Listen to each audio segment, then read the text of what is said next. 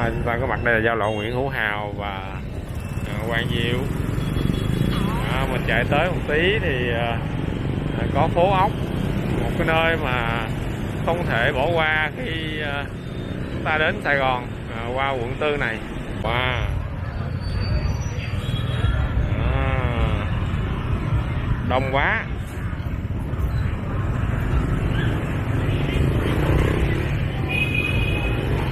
Không bữa giờ chúng ta đi uh, chợ xóm chiếu cũng vắng nè. À, rồi các siêu thị ở à, quận 1 cũng rất là vắng nè. À, nhưng mà những hàng quán ăn uống ở quận tư không bao giờ vắng. À, Tôn Đản cũng là một trong những con đường mà bán rất nhiều uh, đồ ăn. Hàng quán ăn uống rất là nhiều ở khu vực Tôn Đản này. À, phía trước chúng ta có anh bán kem nè kem Merino. À, chị bán kem nhớ à, nhớ ngày xưa ngày xưa đi học à, mà mua được một cây kem đó là nói chung cũng để dành dành dụm dữ lắm mới mua nổi cây kem đó ở đây à, mỗi ngày có à, những xe trái cây ở các tỉnh miền Tây như là chuối dừa đu đủ và đặc biệt là chuối rất là nhiều ha. Rồi chúng ta sẽ quẹo qua con đường à, à, Nguyễn Phái nha. À, trước mặt chúng ta đó là giao lộ Nguyễn Phái rồi. Nguyễn Phái và à, Tôn Thất Thuyết. À, để xem con đường Nguyễn Phái về đêm như thế nào. À, phía trước là đó là cầu dừa cầu dừa mới.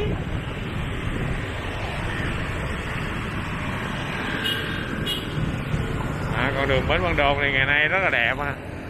À, đường xá rộng lớn rồi building chọc trời. À, nhà cửa san sát nhau. Và có một cái view uh, view ra bờ sông. Uh, rất là đẹp rất là uh, mát. À, nhìn ra quận nhất này à, đẹp ghê chưa?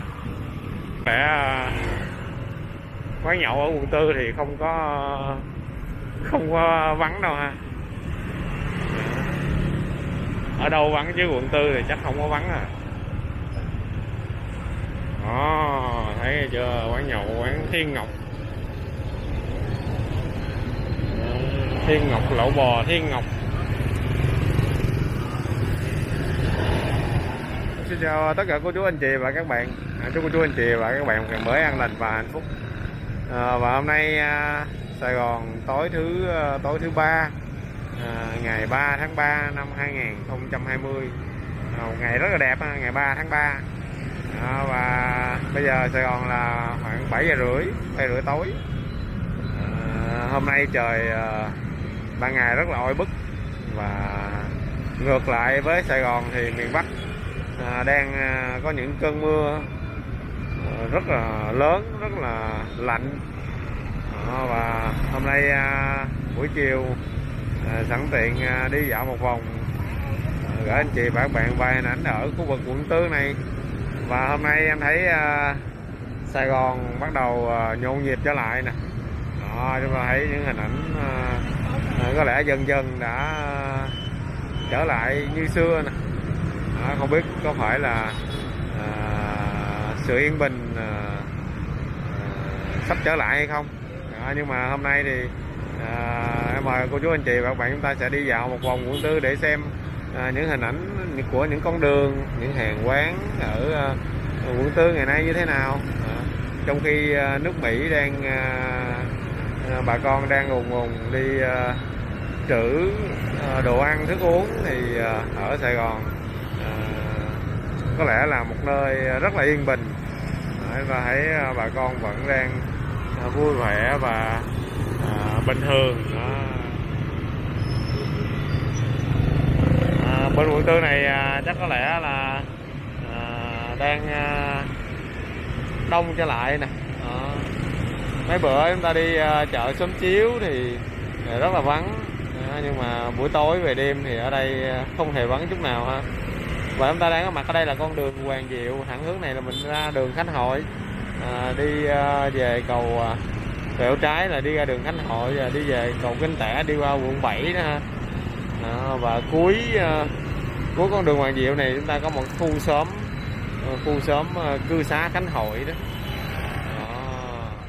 Và ngay vị trí chúng ta đang đứng đây là giao lộ Hoàng Diệu và đường số 45 đó, đường số 45 bên cánh phải nè. Và thấy xe cộ rất là đông rất là tấp nập ha. Ờ, phía bên cánh trái thì có một cái building rất là lớn. À, cao ốc H3 à, ờ, cao ốc H3 à, nằm ở phía trước cái cư xá Khánh Hội ngày xưa. Ở phía sau cái cao ốc này là một cái dãy dãy cư xá rất là xưa nè. Con đường Hoàng Diệu ngày nay rất là mới rất là thay đổi. Đó, và chúng ta sẽ bắt đầu đi một vòng ha à, đi qua những cái con đường Hoàng Diệu rồi phố ăn uống ở uh, đường uh, Vĩnh Khánh. Phố ốc đó.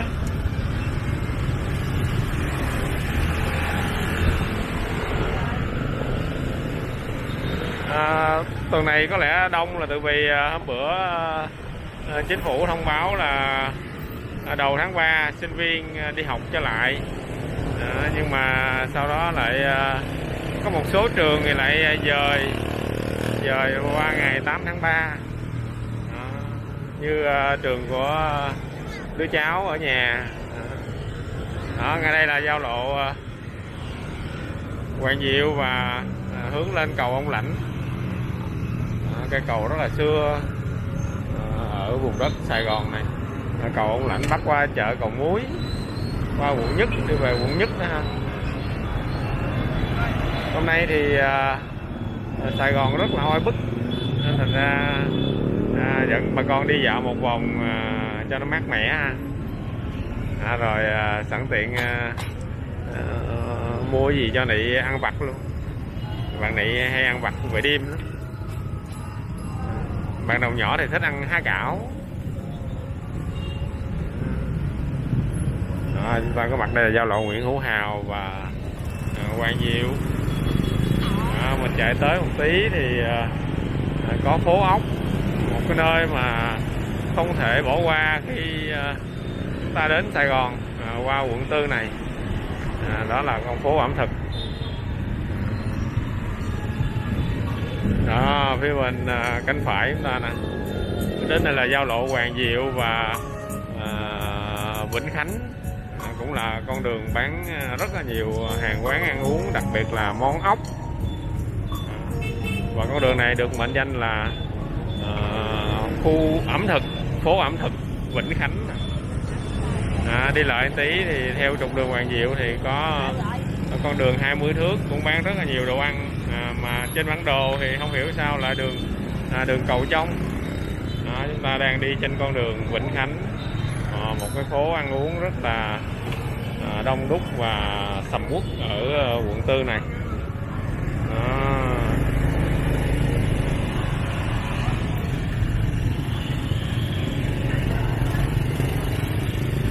Ờ, tôi thấy rất là đông hàng quán này. À, đông đúc tấp nập ghê chưa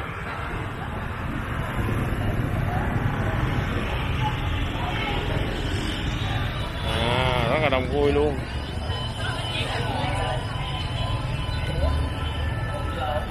à, nó có lẽ rất là khác với à, à, các nơi khác các nước khác.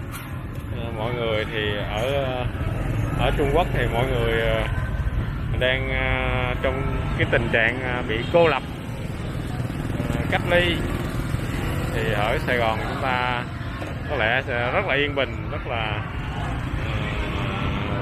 an lành.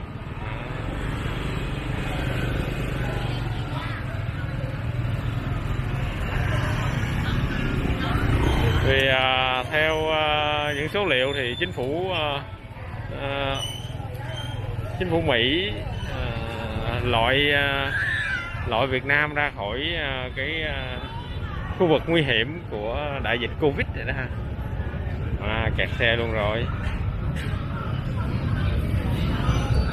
Wow. À, đông quá.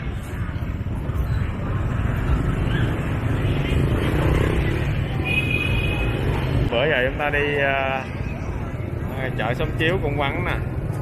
À, rồi các siêu thị ở ờ, quận 1 cũng rất là vắng nè. À, nhưng mà những hàng quán ăn uống ở quận 4 không bao giờ vắng.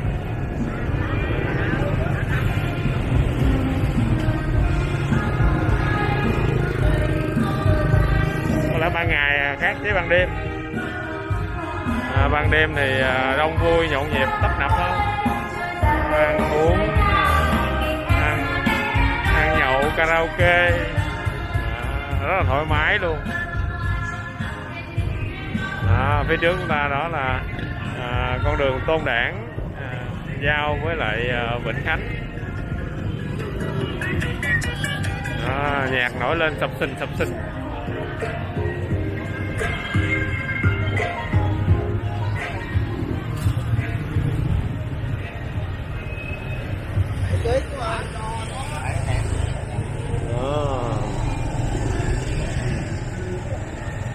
quán Khối, bia Sạch Sài Gòn.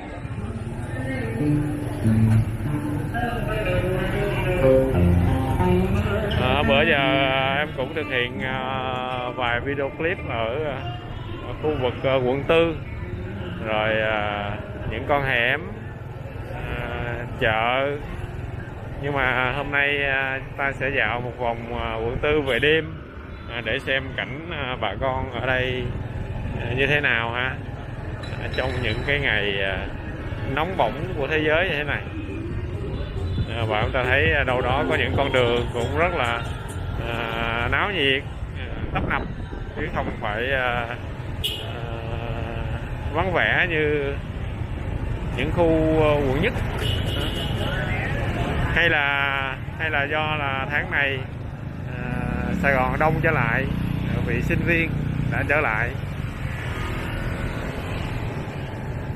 Có một số tỉnh thì à, học sinh đã đi học rồi ha ví dụ như Cần Thơ nè. Cần Thơ hôm nay à, học sinh đi học lại nè. Nhưng mà Sài Gòn thì chưa. Đó, phía trước chúng ta đó là con đường Tôn Đảng số 51 Tôn Đảng bên cánh trái nè. Đó. đi một vòng Tôn Đảng cái mình ra à,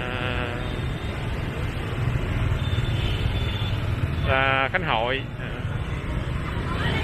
Tôn Đảng cũng là một trong những con đường mà bán rất nhiều ờ, ờ, đồ ăn. Hàng quán ăn uống rất là nhiều ở ờ, khu vực Tôn Đảng này. Và khu vực quận tư nói chung. Quận tư là nơi rất nhiều hàng quán ăn uống, không riêng gì những con đường ở đây. Đúng là ở quận tư là chúng ta không có sợ đói, không có sợ thiếu món ăn ha. Tôm cua ghẹ à, tôm càng tôm hùm. Ờ, đủ thứ hết trơn.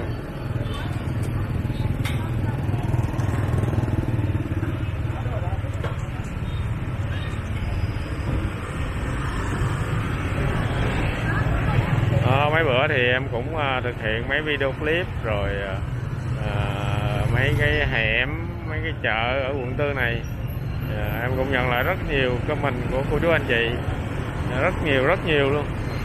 À, mỗi ngày mở lên rất nhiều tin nhắn. Và đó cũng là điều hạnh phúc của Vinh Lâm TV khi mà được đọc những ờ, cái email những cái tin nhắn của anh chị và các bạn.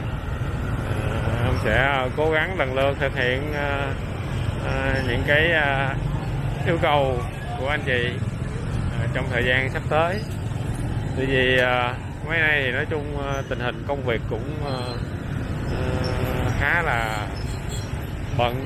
Nên thành ra với lại cái sự ảnh hưởng của dịch bệnh nên thành ra em cũng ít có đi lại đi đâu.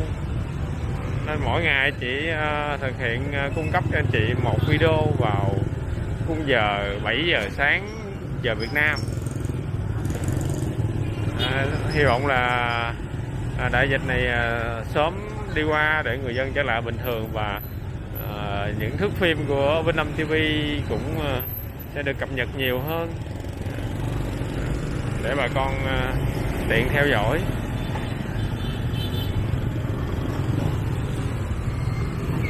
Đáng lý hôm nay à, là em định về sớm rồi. À, định về sớm để đi vô cái hẻm số 7 đường buồn đòn văn bơ. Đó, nhưng thành ra nhưng mà à, lê quay lại à, có việc lại về về trễ nữa. À, và tối nên vô hẻm thì à, anh chị à, thấy không rõ huống gì. Chúng ta đã rời cái hẻm 27 năm 27 năm thì thời gian quá dài ha. Ban đêm chắc mình thấy không rõ gì đâu. À, và hôm nay à, tối nay chỉ đi dạo một vòng để à, mình thấy cảnh à, đường xá ở quận tư về đêm. Rồi nó như thế nào ha so với mấy tháng về trước? À, phía trước là chúng ta có anh bán kem nè kem merino nè. À, chị bán kem. Nhớ à, nhớ ngày xưa ngày xưa đi học à, mua được một cây kem đó là nói chung cũng để dành dành dụm dữ lắm mới mua nổi cây kem đó. Đó phía trước chúng ta đó là chợ nhỏ nhỏ. Đó, mà anh chị gọi là chợ ngã ba đó. Và con đường này rất là tối đó là con đường à, à, tôn thất thuyết. À, đường tôn thất thuyết đi thẳng hướng này là mình sẽ đi ra à, đường nguyễn khoái về đường bến văn đồn đó và cuối à, à, cuối đường này thì có một cái à, chợ nữa. Đó là chợ đò long kiển. Chợ bến đò long kiển. À, đường này thì không có không có sáng lắm.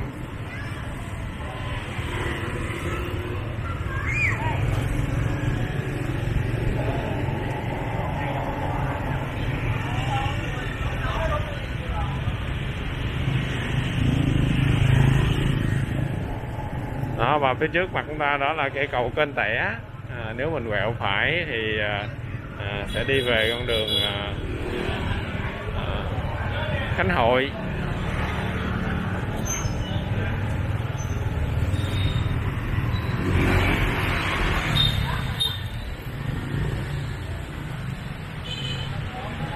Ở đây đang có công trình ha. Biết đây làm đang làm cái gì đây?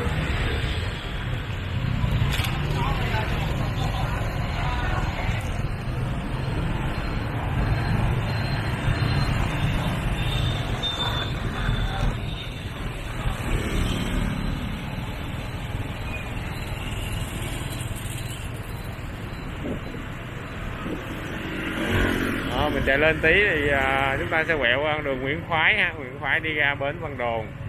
À, rồi chúng ta sẽ kết thúc video clip tại à, nhà thờ Khánh Hội. À, một số hình ảnh ở à, quận tư về đêm. Mình gửi anh chị và các bạn xem chơi cho vui nha. À, trong những ngày à, à, đại dịch này à, chúng ta ở nhà và bật à, YouTube lên ở Vinh Lâm TV à, xem hôm nay đường xá Sài Gòn như thế nào. Và hôm nay à, à, căn nhà xưa của chúng ta như thế nào. Ờ.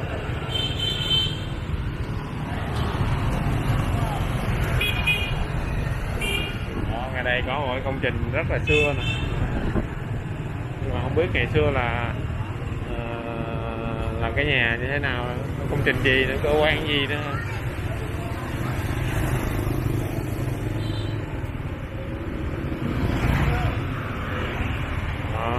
Đoạn khu này là khu uh, uh, gần cuối đường Tôn Thất Thuyết khu chợ bến đò Long Kiển nhưng mà bến đò thì ngày nay không còn nữa ha. Chỉ là cái địa danh thôi. Bây giờ người ta đa phần uh, sử dụng phương tiện đường bộ rồi. À, đường thủy là rất là ít.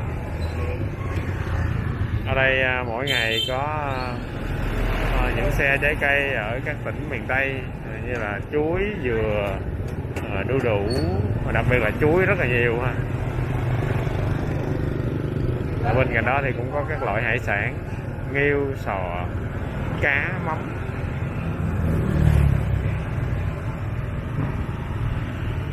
Khung này tối quá.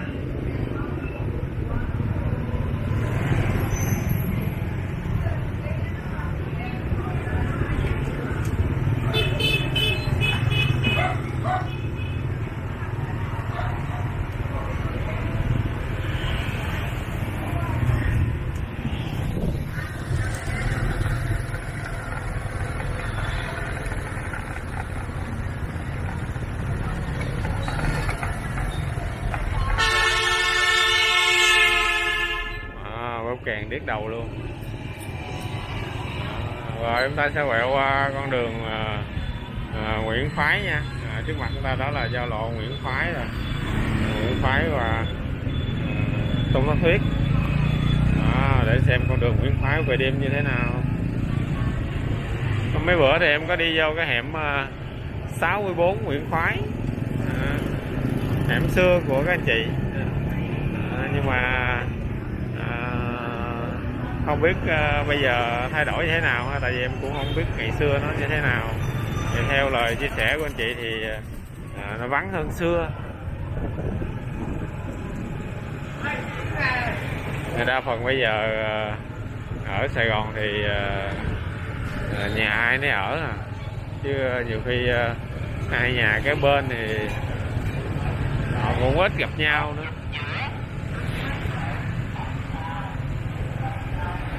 Có người thì à, đi buổi sáng và ở nhà buổi tối có người thì đi buổi tối và ở nhà buổi sáng. Đặc biệt ở chung cư hả? Chung cư là bây giờ chung cư cao cấp không nè vô à, căn nào là vô căn đó nè. Họ không có không có mở cửa. À, giống như là phòng khách sạn vậy đó. Phòng ai nấy ở ha.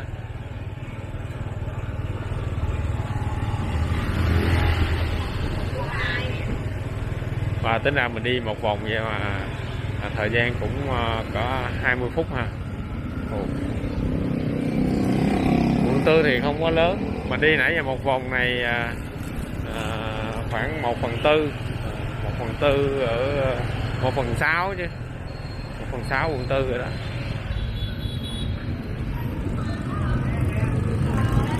Mà nhìn chung thì quận tư ờ, đông. Tấp nập hơn các quận khác ha. Nên thành ra nhà cửa ờ, ở đây cũng có giá hơn. Bởi vì ở đông đúc thì bán buôn nó dễ hơn nhiều dịch vụ hơn. À, phía trước chúng ta đó là con đường bến Văn Đồn nếu quẹo quẹo trái sẽ lên cầu Nguyễn Văn Cừ đi về quận 5 nè. Còn quẹo phải sẽ đi ra ờ, cầu Ca Mét cầu Khánh Hội cầu cầu Ông Lãnh mình quẹo phải ha. Quẹo phải đi qua cái cầu dừa nè. Khu vực này có ờ, cầu dừa. Ở sau lưng chúng ta thì cầu kiệu. Cầu kiệu thì có ở Sài Gòn có hai cầu kiệu ha. Cầu kiệu ở ờ, ở quận nhất ở khu ờ, Tân Định đó. Và cầu kiệu ở con đường Bến Văn Đồn.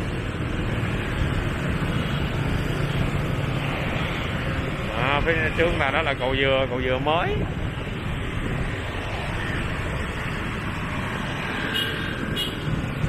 À, con đường bến Văn Đồn này ngày nay rất là đẹp ha. À, đường xá rộng lớn rồi à, building chọc trời à, nhà cửa san sát nhau.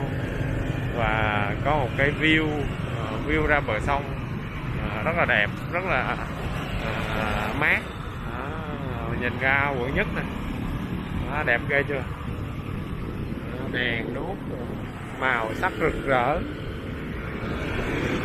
ở à, đường bến Văn Đồn này có mấy quán nhậu ờ, mấy quán nhậu ven con đường này nè. Nhưng mà ờ, lúc trước thì ờ, rất là đông, nhưng mà hôm nay không biết như thế nào ha để đi ngang để xem thế nào. Để có lẽ quán nhậu ở quận tư thì không có không có vắng đâu ha.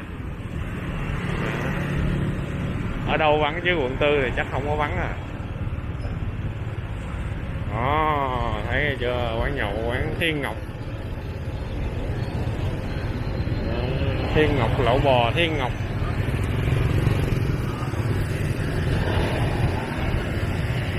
Rồi và một số hình ảnh ở ờ, quận tư chia sẻ với các anh chị và các bạn. À, hy vọng thông qua video clip sẽ mang Sài Gòn đến gần hơn với anh chị và các bạn nếu mà à, chúng ta lâu rồi chưa có dịp về Sài Gòn và hôm nay à, một buổi chiều mát mẻ chúng ta cùng nhau đi dạo và ngắm cảnh Sài Gòn về đêm ở khu quận tư này. Rồi bây giờ thì xin chào và hẹn gặp lại. Cảm ơn cô chú anh chị và các bạn đã quan tâm theo dõi. À, chúc anh chị và các bạn một ngày mới an lành và hạnh phúc. Bye bye bye bye các anh chị và các bạn. Con đường này là đường Khánh Hội nè. À, đi thẳng là mình sẽ lên cầu Kênh Tẻ luôn đó. Đó, và khu này thì có cư xá Khánh Hội bên phải và bên trái. Đó, những cái hẻm đi vô khu cư xá của ngày xưa nè. Ngay đây là trường à, à, trường tiểu học à, Đặng Trần Côn.